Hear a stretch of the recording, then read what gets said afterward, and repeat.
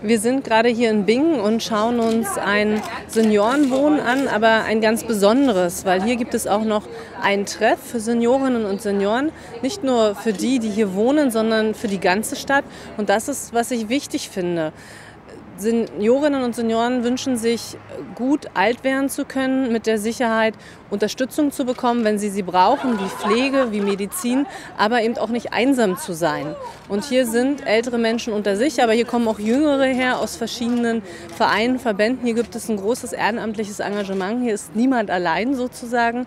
Und das ist ganz wichtig. Vor allem wichtig, dass es hier mitten in der Stadt stattfindet und dass wir nicht die älteren Leute auf die grüne Wiese in Pflegeheime abschieben. Das ist mein Ziel, dass ältere Menschen mitten in der Stadt wohnen bleiben können und die Unterstützung bekommen, die sie brauchen.